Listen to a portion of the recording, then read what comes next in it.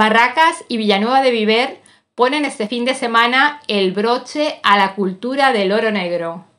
Los amantes del oro negro, que Castellón tiene el privilegio de cultivar en su suelo, tienen este fin de semana una cita en el eje de la trufa. Se trata de los pueblos de Villanueva de Viver y Barracas que completarán con un amplio programa de actividades la decimoctava edición de la Feria de la Trufa del Toro, la localidad del Alto Palancia, que este año se ha rodeado de la buena compañía de Pina de Montalgrao, que arrancó el 20 de las actividades previas a la feria trufera, se nutre este fin de semana de diciembre con programación propuesta por otras dos localidades que también deben mucho a este oro negro cultivado en sus tierras. Tras el éxito de la programación de Pina, con talleres sobre el perro trufero y la caza abierta a todos los visitantes,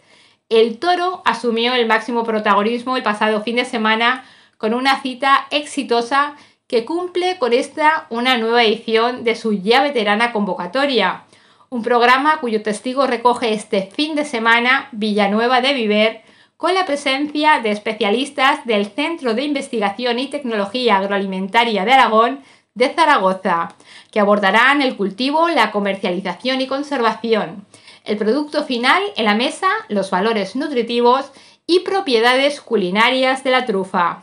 Barracas pondrá el broche de oro con una sesión de show cooking para que los asistentes vean, sientan y disfruten de una degustación de platos de alta cocina preparados en directo.